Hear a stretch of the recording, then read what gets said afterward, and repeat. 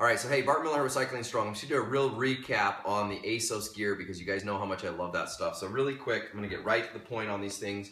Side pocket on the side of the ASSOS bibs, absolutely amazing. If you get in a wreck, something like that, this is one vulnerable area that you need. You'll see inside of here, they have little pads that go inside. I just got done washing these, so I put them out because I wore them in the stage race at the Leadville Trail 100. I also like it because easy to use the restroom in, totally like a short, no pressure on you.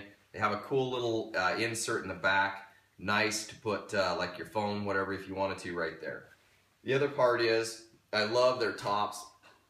You can see that this is a 1.4. Look at the back, you see the holes in it. It breathes so well. Yet, if you need more protection, you step up to, I think this one's a three, seven.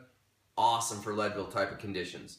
And then obviously this jersey. I love it because it had a cool zipper in the back where I was able to put my vitamins, things like that. You know, it rained on us while we were at the Leadville Trail 100 stage race. Put the rest of the stuff in here. And I love how this band only goes part of the way across and feels so comfortable as you wear it. Um, also, I already did a video on the gear when I unveiled it. Had a guy go out and buy the jacket. You cannot do this race without a really good jacket. So I want you to know that. I want you to know that ASSOS gear is very specific to what you're doing. Like this is another pair of bibs that I have of theirs, but look, it doesn't have the sides in it.